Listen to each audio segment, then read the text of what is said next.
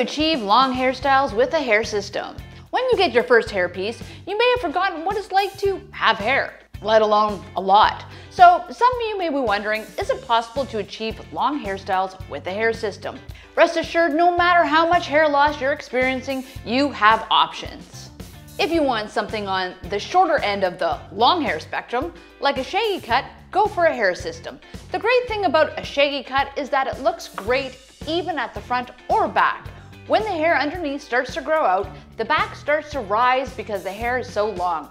You don't see that gap between the hair and the thinning area that often occurs with other hairstyles. If you want something longer than that, you'll need to purchase from our women's wigs or toppers. You can go with a wig if you're fully bald or a topper if your hair loss is just on the top of the head.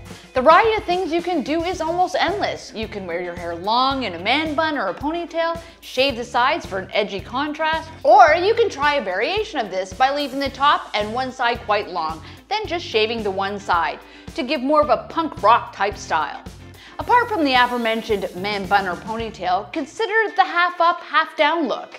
You can also initially leave it long and then cut it mid-length when you're bored. For a long textured wave look, you can choose wavy hairpiece and add some layers for more realistic appearance. The added dimension makes the style work for just about every face shape.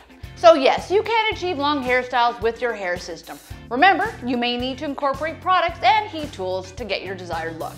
If you want a styling tutorial for long hair look, leave us a comment. And until next time, like and subscribe, and we'll see you later. Bye.